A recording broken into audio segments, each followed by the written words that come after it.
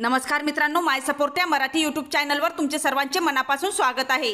संपूर्ण महाराष्ट्रासाठी आत्ताच्या क्षणाच्या सर्वात मोठ्या आणि महत्त्वाच्या ठळक बातम्या. राज्यात पाच धडाकेबाज निर्णय. तीन जूनपासून लागू दोन जून गुरुवार आजची काही मिनिटापूर्वीची ही बातमी आहे. या संदर्भात सविस्तर माहिती या व्हिडिओत जाणून घेऊया. तत्पूर्वी तुम्ही माय सपोर्ट या मराठी यूट्यूब चॅनलवर नवीन असाल तर खाली दिलेल्या लाल रंगाच्या सबस्क्राईब बटनावर क्लिक करा आणि समोरील बेल आयकॉन क्लिक करा. जेणेकरून महाराष्ट्राची ताजी बातमी तुमच्यापर्यंत सर्वात आधी पोहोचेल. तर चला सविस्तर बातमी जाणून घेऊया. तर बघा पहिली सर्वात मोठी आणि महत्वाची बातमी. राज्यातील दहावी आणि बारावीच्या विद्यार्थ्यांसाठी एक मोठी बातमी समोर आली आहे.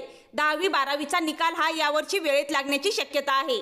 बारावीचा निकाल हा पुढच्या आठवड्यात लागेल. हा निकाल सहा ते सात जूनला लागण्याची शक्यता आहे. तर दहावीचा निकाल हा जूनच्या शेवटच्या आठवड्यात लागेल. राज्याच्या शालेय शिक्षण मंत्री वर्षा गायकवाड यांनी याबाबत महत्वाची माहिती दिली आहे. त्यानंतरची सर्वात मोठी आणि महत्वाची बातमी यंदा महाराष्ट्रात सरासरीपेक्षा अधिक पाऊस येण्याची शक्यता हवामान खात्याने वर्तवली आहे. नैऋत्य मोसमी पावसाचे केरळमध्ये आगमन झाले आहे. यंदा जून ते सप्टेंबर कालावधीत सरासरीच्या तुलनेत एकशे एक टक्के म्हणजे सर्वसामान्य पाऊस पडणार आहे. मध्य महाराष्ट्र मराठवाडा आणि विदर्भातील काही भागात सरासरीपेक्षा अधिक पाऊस येण्याची शक्यता हवामान खात्याने वर्तवली आहे. महाराष्ट्राच्या बहुतांश भागात पावसाच्या सरी चार महिन्यात सरासरीपेक्षा अधिक कोसळणार आहे. कोकण आणि किनारपट्टीच्या भागात आणि पूर्व विदर्भात पावसाच्या सरी सर्वसाधारणपणे बरसणार आहे.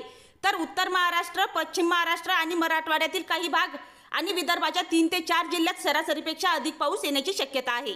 त्यानंतरची सर्वात मोठी आणि महत्वाची बातमी राष्ट्रवादी काँग्रेसचे ज्येष्ठ नेते एकनाथ खडसे यांच्या अडचणीत वाढ झाल्याचे दिसून येत आहे. खडसे यांना ईडीकडून पुन्हा नोटीस बजावण्यात आली आहे. खडसेंसोबत इतर चार जणांनाही नोटिसा बजावण्यात आल्या आहेत. जमीन घोटाळा प्रकरणात ईडीने खडसेंची जागा जप्त केली होती. ती जागा रिकामी करण्याची नोटीस ईडीकडून बजावण्यात आली आहे. त्यानंतरची सर्वात मोठी आणि महत्वाची बातमी मुंबईत गेल्या काही दिवसात कोरोना रुग्णांच्या संख्येत झपाट्याने वाढ होत असल्याने पालिका आयुक्त व प्रशासक इक्बाल चहल यांनी पालिका व खासगी आरोग्य यंत्रणेला सज्ज राहण्याचे आदेश दिले आहेत. गेल्या अठ्ठेचाळीस तासात कोरोना रुग्णसंख्येत तब्बल चारशे एकवीसने वाढ होऊन रुग्णसंख्या तीनशे अठरावरून थेट सातशे एकोणचाळीसवर गेली आहे. त्यामुळे राज्य शासन व मुंबई महापालिका यंत्रणा खडबडून जागी झाली आहे. पालिका आयुक्तांनी जम्बो कोरोना सेंटर सज्ज ठेवण्याचे व कोरोना चाचण्या वाढवण्याचे आणि लसीकरण आणखी वेगाने करण्याच्या सूचना प्रशासनाला दिल्या आहेत.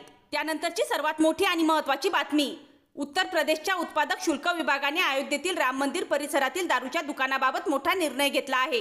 राज्यमंत्री नितीन अग्रवाल यांनी मंगळवारी माहिती दिली की अयोध्येतील श्रीराम मंदिर परिसरातील सर्व दारू दुकानांचे परवाने रद्द करण्यात आले आहेत. बहुजन समाज पक्षाचे सदस्य भीमराव आंबेडकर यांनी उत्पादक शुल्क नियम एकोणीसशे अडुसष्टमध्ये केलेल्या सुधारणाच्या स्थितीची माहिती मागवली होती.